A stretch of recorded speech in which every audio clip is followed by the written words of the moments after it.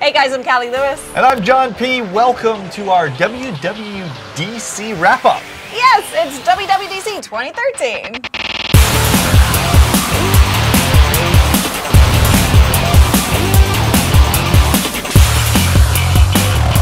So, uh, OS 10. Um, now, Mavericks moving away from the cat theme and moving to the California. Yeah, they made that like a big deal. Uh, I don't care what they call it. Let's just see the new update. Well, no, it's a fun thing for the Apple community to Okay, guess great. what's coming out next in that particular theme. I only care what they're adding feature wise. It looked like they're adding some catch up features. What kind of things were they adding? Finder tabs. Oh God, that is the most necessary thing ever. And you know, one thing they didn't show, they showed tabs for Finder, which is great. Uh-huh. But how about split screen for Finder? They didn't show that. Are they going to allow Um, that? no, they Can I didn't. get one screen with on one side, you know, uh, two, you know, split screen, half the screen, maybe I Right, right. click on the C drive and the other half I click on the D drive so I can drag back and forth between the two. That is so basic and has been lacking for so long. Yeah, right now you just open two tab windows, oh, two Finder windows. Yeah, to- which to is a that. pain in my ass. but Um, anyway, the ta- other that's thing good. in Tabs. Finder is tagging, which Ken is very, very excited about over there. yeah, Ken's losing his mind over tagging. Me personally, I think I think you know tagging is not the right word. I think category is is more of the word, but um, I just don't think it works well for th- for files the way it does with let's say photos. Right. Photos one thing you know about photos, they're all pictures. Now when you add a tag, you know, the tag has uh, a limited application, but when you talk about adding tags to files in an OS, those files could be anything. They could be spreadsheets, they could be photos, they could be anything. Right. You end up with a situation where, like we have going on on our blog and on occasion, you have so many tags, they're so diluted, they mean nothing anymore. right that happens too often, and people have to be very disciplined. And most people are not that disciplined to continue the tagging process. I think the people who Um, use tags are going to love them, and it's great to have them. But I think 98% of people will not use them. I'm Probably one. not. I, I, I won't You know use what them. it really is, John? What? You know what it really is? It's the it's the advent of the flat file system. Like in, the- in the new version of the flat file system, where folders are irrelevant. You know, you can put you can't you can only put one file in one folder right now. Like a file, a file Right. can only exist in one folder. Tags breaks that. That is true. Uh-huh. You can you can have That's a a tag, uh, uh, you know, where you could give one file five tags, where you could only put it in one folder. That is true, and that's what was revolutionary about Gmail as well. Exactly. Yeah. But I just don't see it working the same way for something like this. I see it working in Mail. I see it working in. I've already seen it work in this. I've already seen it work, John. All right. I've already seen this work. But for the majority of people, you work that way. No, Yeah. Was- Your mind works we that made way. This for like a law office, like we did this for a law office so they can organize their documents. They would tag all their documents. And how long Documents, yes, I could see that with documents. Yeah. Because we're talking about a specific file type. Documents, photos, videos. Right. right? But I mean, how about all the other miscellaneous file types that you encounter on computers? Those are going to be irrelevant. It won't work for those. You wouldn't even tag those. You would tag the documents that you actually care about. Yeah. Well, we'll see. We'll see how many people use it. Uh, iCloud Keychain, uh, their version of LastPass or 1Password, uh, which the most disappointing thing here, uh, of course, they're going to release their own version. That's just fine. Uh-huh. But the most It won't be disappointing thing is it won't be cross platform. Uh, there's no way they do that.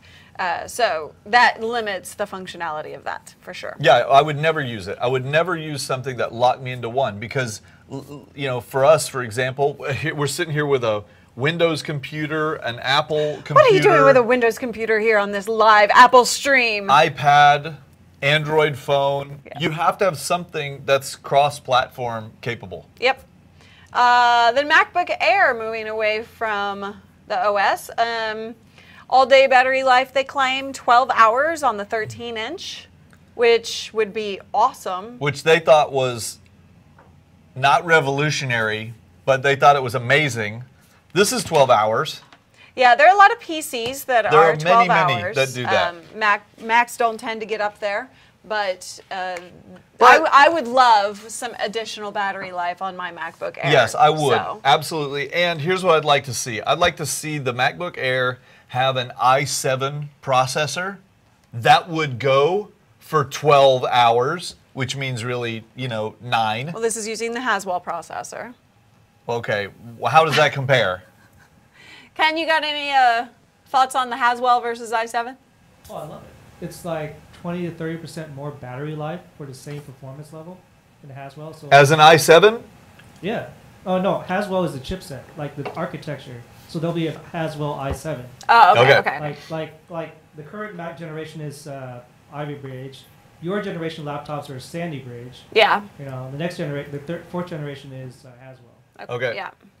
So we'll be able to get that with a fast processor and then a very long battery life. That would be awesome. Yeah. But also, one thing I didn't see talking about the new MacBook Airs is, and I know that they're not designed for tons of inputs and outputs, but a single Thunderbolt connection is not enough. It should at least have two Thunderbolt ports on it, but maybe they don't because of power requirements or something. But I'd like to see the MacBook uh, Airs have more Thunderbolt connectivity. That'd be nice. Certainly would be nice. Like nice. at least two, Yeah. because Thunderbolt's so important. And of course, the MacBook Airs that they did announce are not Retina display, so Because uh, they would use more battery that life, I wasn't guess. Retina. Yeah. I mean, that was rumored, but not happening. One thing they passed over. And no touchscreen. No touchscreen support Yeah. in the new OS at all, which means it will be a minimum of one more year, probably two or more years, before um,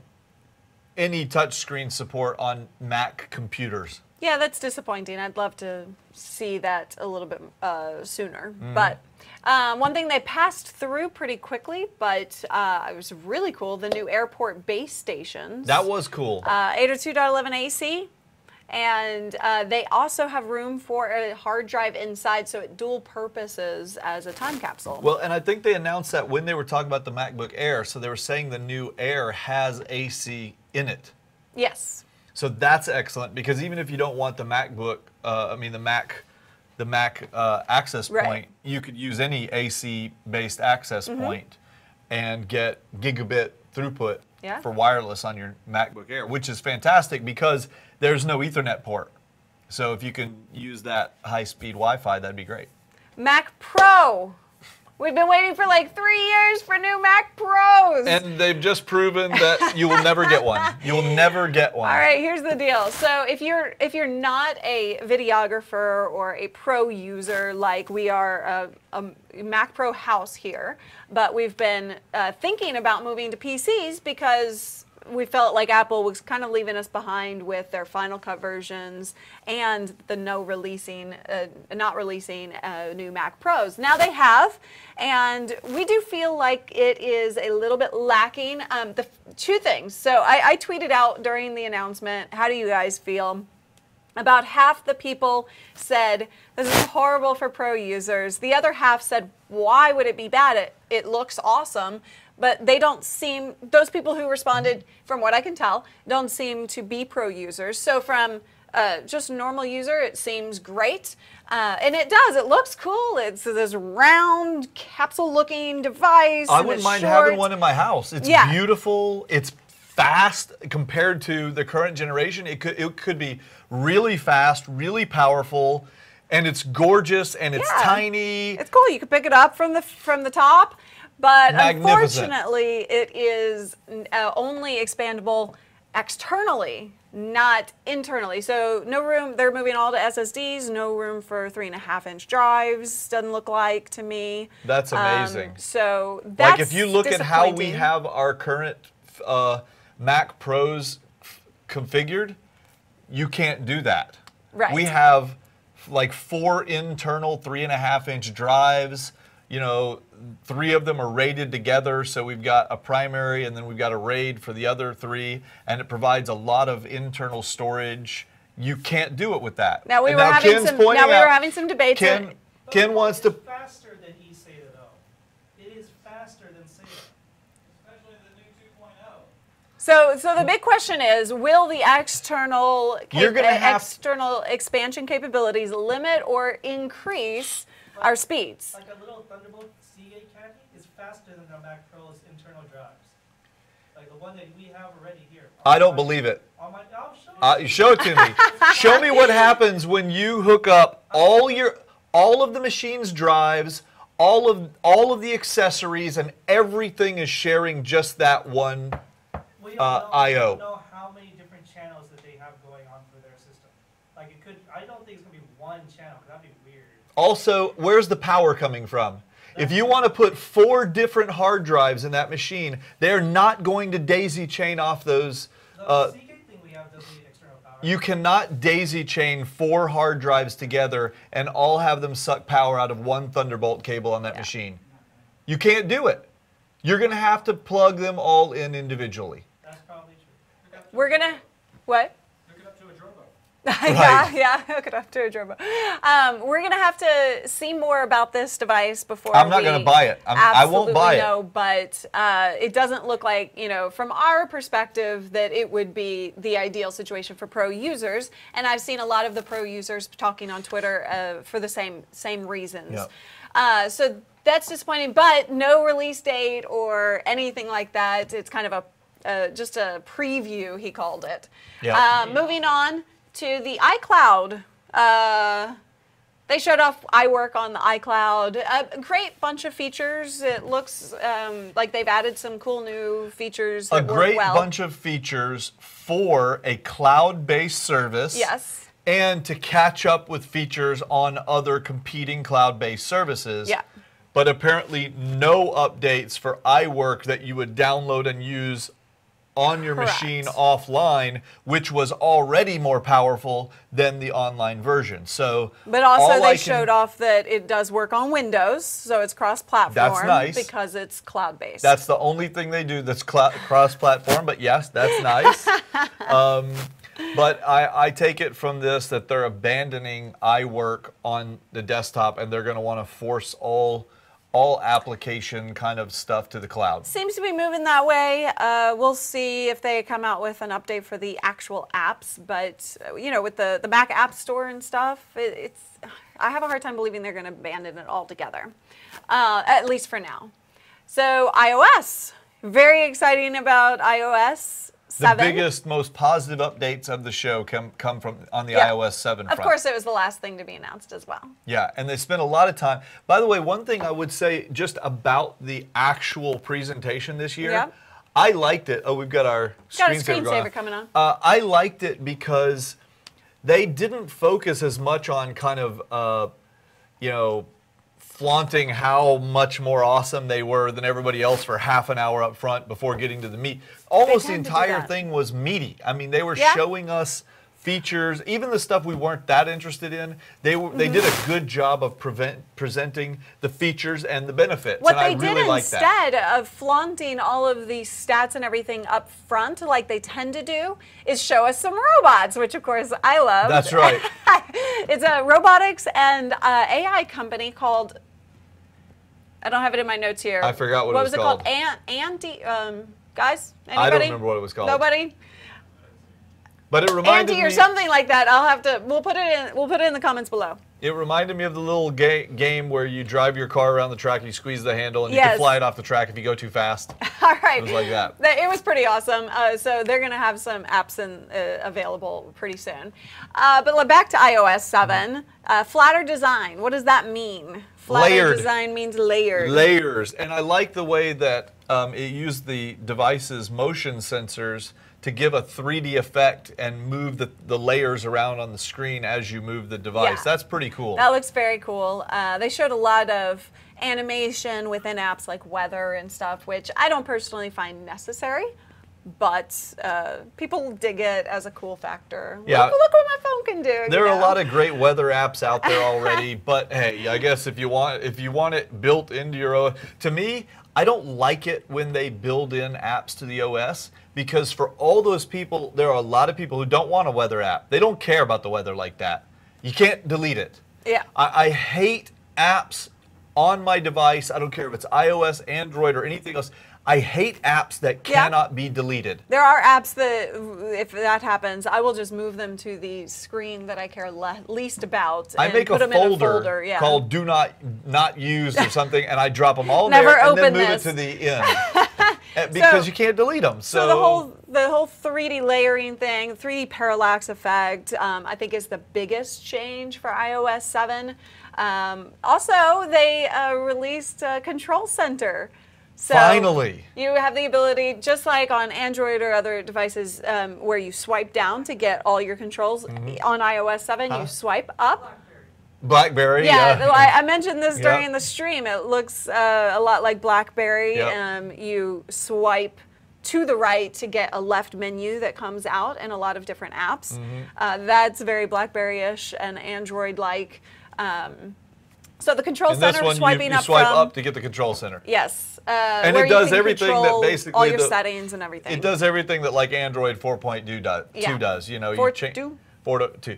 You can you know turn your airplane mode on and off, adjust your brightness, Yeah. things like that very quickly. I also like that it had, for example, the music player control was in there. Yeah. So if you have other things going on, if you're on a tote, like if you're in Evernote and you've got music going in the background, you could swipe up and just the players right there, skip to the next song, swipe down, and keep Yeah. using your Evernote. You know. Which is good, and you can do it on Android. So this is good catch-up stuff. Yep. Uh, Also- multitasking. Yeah, multitasking for all apps. Yep. Also, the uh, phone, the camera, the camera photo app. You just couldn't wait to get to that one because you're so excited about it. That was really good. It reminds me a lot of Picasa, the way it or- automatically kind of organizes your photos by place or date, etc. I like that. It's Yeah. a very, very nice interface, and it will beat the heck out of the current gallery. That is this endless stream that you. It's very hard if you have It a lot of photos. It's very hard to find things. It is. So I really am looking forward to that. Yeah. Siri has been updated. Couldn't so, care less. Uh, for those of you who love and use Siri, Does uh, it? Are there any of you who love and use Siri? Yeah, there are still some people Are who there? use Siri. Does Siri work for you? So uh, Okay. we actually have an audience member who uses Siri. Now, Okay. what's interesting about this is they are working with a lot of manufacturers to bring Siri into the dash of your car. Uh, so I, I like that, but although full integration and you know everybody using that years out. But uh, one thing that was cool that piqued my interest about this Siri update is the fact that um, it you can do it can control features on the phone or capabilities of the phone like Yeah. turn up brightness or turn down Turn on brightness. Bluetooth.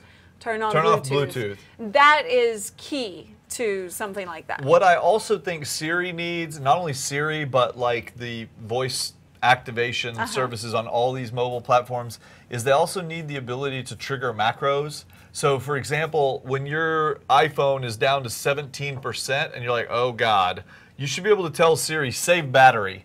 Right. And when you say save battery, it turns the brightness to 20%, turns off Bluetooth, turns off, you know, Uh, automated automatic updates on your apps. yeah, t- like it yeah. turns off everything. It should basically go, okay, I'm going to try and last as long as I can now. Right. Uh, that would be a macro function, you know, Yeah. and so I'd like to see that happen. Oh, Robert pointed out it was. ANSI, yeah. Uh, An- Something I don't that, think it's Ant C. I think it's Anzi or so, Something, something, like but that. anyway, yeah. Oh, that was the robotics company. Yep. Um, let's see. Uh, automatic updating of apps from the App Store. Oh, boy, you're gonna hate that. I hate that. Hate, hate, hate. So here's the thing, guys. uh-uh. last last week I picked up her phone. I was trying to download something for her. I can't remember what. I picked up her phone and I looked and it said she had like 47 apps needing updates. I was like, I what in update the, apps I use. I was like, what in the hell? This is actually a security risk. I know. And I didn't even ask her, but I hit update all. And Uh, she and nearly lost her mind. I was okay? really pissed at you because She was like, it's going to change all my settings. I'm no, like, it, doesn't does. change it any does settings. actually. When I uh, notification settings in Twitter, uh, I forget the other two apps it was doing specifically. It but might have when happened I, to you like once. No, no, it, doesn't happens happen on every a multiple. time. Yes, every time I update specific apps, I get notifications that I never wanted in the first place that I turned off when I had it. Anyway. and it just drives me insane. You don't want it updating automatically your apps? I do not. I want to do that myself I- I'll on a you what- timeline that I choose. What worries me about it, but I'm sure they'll give you like some control, like update only over Wi-Fi. right, they have to give you that control. But the thing is, they need to do. They need to also go to things like update only on Wi-Fi and only when plugged in. Right, so Because you maybe you don't want, or maybe like me, I don't care. We have enough bandwidth on Mm-hmm. our thing. I don't care if it's Wi-Fi or 4G or whatever. Yeah. But but if I'm trying to use it, pause the downloads in the background and let me use it. If it if it builds in a little bit of control and some Yeah. intelligence, I'm okay with it. I do update my apps daily. Wow. Literally every day I check to see if there are updates. And, and that's the way you should do it. Don't get me wrong. That's the way you should do it. I uh, am like most of the world and do not do that daily. I don't know that most of the world doesn't update them ever. anyway, what else was there? There was Uh, something that'll else come cool out. in so iOS. 7. iOS 7 will Music. come out. Hold on. iOS 7 will come out in uh, the fall. So, but then music is not an iOS 7 specific thing, uh, but iTunes Radio That's what I'm talking about. is what you're talking about. I am anxious to see that. This would be their Pandora killer. Um, so you have the ability to listen to music, teach it your likes, your dislikes, let it learn you and your um, preferences, and then also buy the songs that you're listening to while you're listening to The them. The bad news is I won't be able to use it on Android devices or anything else. I mean, that's one of those things where you're locked into their platform Yep. and they're not going to open it up. But Yep. you can use it on PCs because of uh, they have iTunes on PCs. And Sure. so they, he said it would work in iTunes as well as everything else. But there's no iTunes for Android. no, there is not. And there probably won't be an iTunes radio Right. app for Android. So, So- yeah. You can't get rid of Pandora or Spotify or any of that yet. This will be free and ad supported. Uh, of course, they want you to buy, so there are buy buttons everywhere. Um, I think they should release an Android free. version of it. Of course they should, Why but they're they? not going to. Um, it is free. It's ad free with iTunes Match subscription. So I forget what iTunes Match How much is. does iTunes Match cost, Ken? Twenty-four, Okay. twenty-five dollars a year. Twenty-five bucks a year. $25 a year. So you know, Well, that's, That's- the same as Pandora costs. Twenty-five Hey. bucks a year. yeah. So Uh, yeah, ad around free for twenty-five bucks a year. I guess I I, could you do know, that. I think that's worth paying for when you when you listen to a lot of music. I personally, you know, pay for subscriptions to like Spotify and Pandora and stuff. I wonder if Sonos will build in. Surely Sonos will add in the iTunes Oh, I'm radio sure support they will. I'm sure they to will. one of their future Yeah. releases. Huh? Sonos works with iTunes, doesn't it?